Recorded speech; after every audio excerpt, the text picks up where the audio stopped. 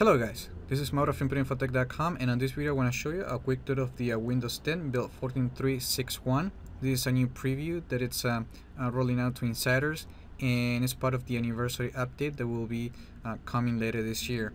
Uh, there is not a lot of changes but it's quite a few uh, tweaks and improvements that I want to show you in this video so let's just dive in into the new changes.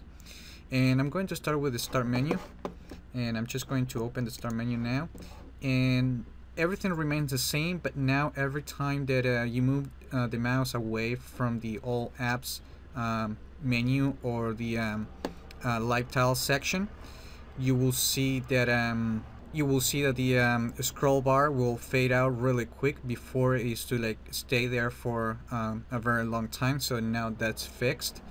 And now the um, uh, the space between the elements and the top side of the uh, the menu has been reduced so there is not a lot of dead space on on the top so those are just uh, uh um, just really simple improvements but it should uh, make uh, the experience better using the uh, uh, the start menu for a lot of people Alright, so now let, let, let me move to Cortana, which you won't find a lot of changes or features but there's quite a few improvements.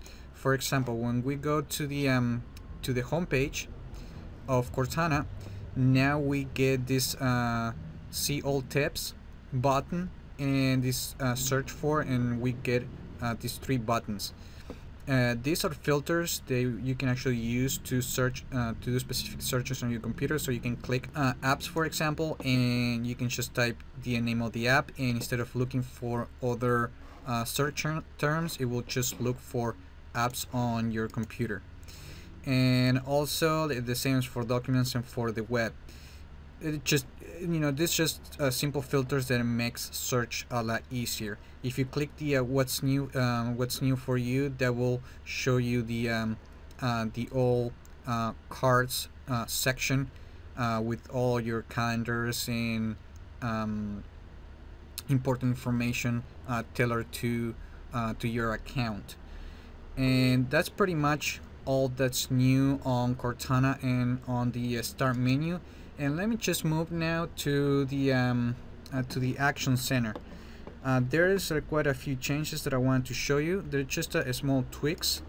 And we're going to see for example now that um, Microsoft updated the the network icon on on this button on, on the network button. Click that that will actually bring us the uh, uh, the network flyout menu and also now the um, the size of the um, of the images of the icons for the uh, notifications have been reduced from 64 by 64 pixels to uh, 48 by 48 uh, one thing I forgot to tell you about Cortana is that uh, now you can uh, click in the um, the mic button.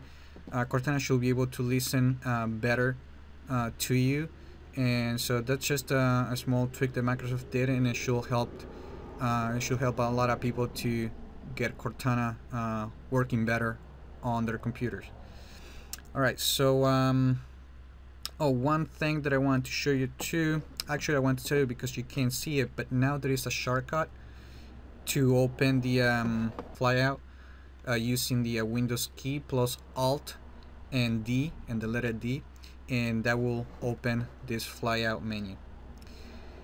Alright, so uh, now let's move on to uh, the Windows Ink section. That's where the um, other changes are happening. And let me just open the uh, Windows Ink workspace and let me dive into the uh, sticky notes because there's quite a few changes in here. And now as you can see before we used to have a blur and we can like we could like, see through here to the desktop but it will be all blurry. And now we can actually uh, see through and we can see everything on the desktop. That's another change. And now when we click the uh, menu for a note now we get to uh, we got a um, color picker right there and we don't have to go we don't have to jump through other settings uh, menus just to change the uh, the color of the um, of the note. Um, also, when we close a sticky note now, I mean when we delete one, we want to delete one, uh, now we're going to get a warning message. You know, click the uh, don't show this message again and and you just need to confirm the first time that you want to delete it and it will delete the um, uh, the note. Uh, however one thing that I'm noticing that it probably is a bug but when you when you close sticky notes the note the note as you can see stays on the desktop. It should actually like close with the um, uh, with uh, with the sticky notes uh, um, canvas but it doesn't so I don't know if this is a bug but for now if you need to actually close the sticky notes you need to come to the uh, uh, to the taskbar right click and actually close the sticky notes like that. And now let me just jump go back to the uh, Windows Ink and jump to um, the screen sketch. On screen sketch and also in the sketchpad now probably you've seen this before now we get a ruler but now the ruler actually is longer and it covers um, the, uh, the entire screen even of a surface book. And now we also get a new icon to clear the um, uh, to actually to erase everything on the on the canvas. Let's say if I if, if I if I use this and then I click the clear all button it clears it all. Before there was like a different icon and that wasn't really uh, disco discoverable for users so now Microsoft updated that and now it's easier just to uh, clear the, on the screenshot or on on a different canvas using the uh, sketchpad and there's also like I don't see it here because I don't have a touchscreen but um, there's also an updated uh, uh, touch ink icon Alright, so uh, now that's pretty much everything that's new on the uh, Windows in Ink section and now let's just move to the um, uh, to the settings app uh, because Microsoft is actually doing a lot of changes. As you can see right now when we open the uh, the Windows settings you can see now that Microsoft has changed the uh, the background, the gray background that it had and now it's only white and even when we go to uh, when we go to to one of the sections like go to system you will see now that uh, the back the background has also been removed from the uh, from the navigation uh, area right here. And that has been updated with the um, with colors on the on the actual uh, title and and, and a little block on the left that actually points out where you're located. Let me see, let me show you right now. When you move, you can see that that it, uh, that actually the um, the title changed colors, and this color uh, comes from the color that you're using for your uh, Windows experience. And now let me see. There is nothing new on system, but let me just show you really quick that if you go to the about section, now we can see that Microsoft updated the um, the version number to 1607 indicating that uh, we're going to the company is going to release this version to everyone on July of 2016 that's what the uh, 1607 means. Uh, before this bill uh, the version was 1511 uh, uh, which marked the November 2015 update of the current version of Windows Alright, let's move on and let's go to home. Oh, one thing that I forgot to show you is that um, now the uh, the home the, the home button, the, uh, the this whole area is now clickable. Before we used to be able just to click the uh, the gear button to go to home, but now we can click the whole thing. And now the uh, the home button it's located above the uh, the search box and that just you know makes it easier for people to navigate uh, between settings. Alright let me just go really quick on devices. There is nothing new there. And now if we go to network and internet. I know there is something new here and yes. Um, although there is like new there is no new features Microsoft is turning uh, links like this that we that we used to see here and to buttons that actually opens uh, opens up um, uh, tools from the um, uh, from control panel. Let me see if I let me see if I can click the uh, sh um, sharing options. And that should open as you can see does the uh, all uh, control panel. So it just makes it easier. This looks just you know common links that you know now uh, we get in these buttons at least until Microsoft migrates all the uh, options to the to the settings to the settings tab. It, it, just looks a little bit better and with the icons it makes it more identifiable for users and, and just easier to use. Alright so um, let me just uh, move back to home and let's go to personalization and let's just let me show you uh, there is no changes in here but just wanted to show you that um, if we change the color you will see that now the title uh, will change it uh, will will change as well. And now you can see how uh, how this works. So now like you know whatever color you choose that's the color um, color of title you're going to see for that page. And let me just switch it back. And let me show you that uh, now that we see all white but you also have the choice to use the um, dark theme on, win uh, on Windows on Windows 10 let me just close that so we can uh, update the uh, the title bar to to the dark color. As you can see now it's all dark.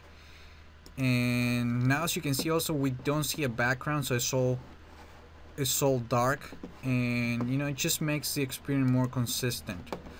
All right just like let me switch back to my preference which is the light close that again and open this back. And now let's move on to oh one thing on this build is that if you open the privacy uh, settings it will crash the uh, the settings app.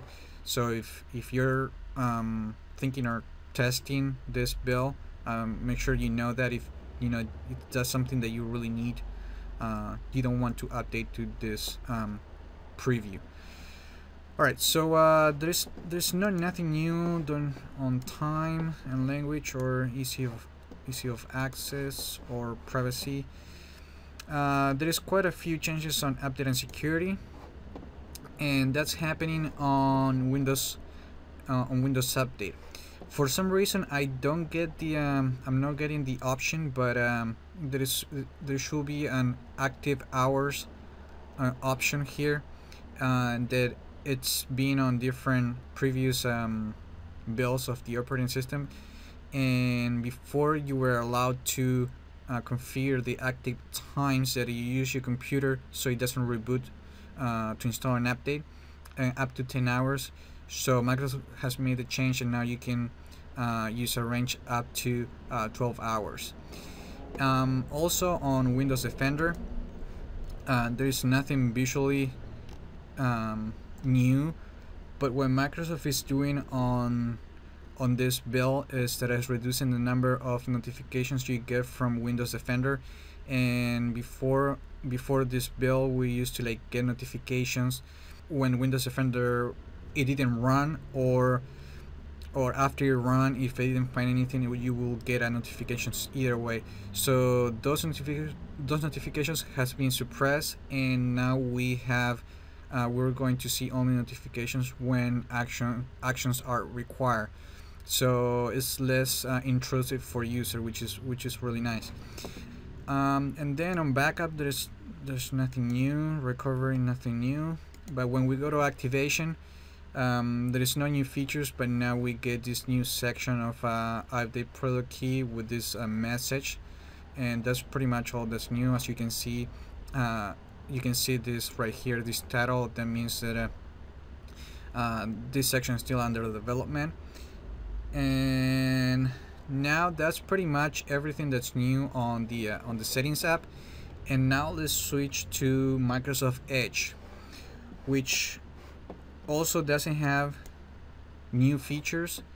But for example one of the things that are worth pointing out is that um, on extensions now we can use uh, the LastPass um, password manager. So if you have that service you can use extensions to bring all your password to this uh, to this web browser. And you can enable and disable from here and you can just go to the options. And let me just close that. It's, maybe it's gonna open. I thought it was going to show uh, my configurations but it doesn't or, or my passwords but I guess it doesn't. Alright so uh, so that's how you change the settings there and one other thing that Microsoft is, is, is updating with the Microsoft Edge it's on the um, download notifications. Now we get um, of the download and the status and the domain they're separated it's separated on each line or, or at least uh, for some reason I, I, guess it's not happening but supposedly what Microsoft did is uh, um, is separated in different lines the uh, the status the uh, the, uh, the name of what you're downloading and the link and and three different lines but um, as you can see it's not happening right now but it certainly be on the uh, final um, bill so and finally let me just go to let me see if I can go to like about flags. Let me cancel this if I can.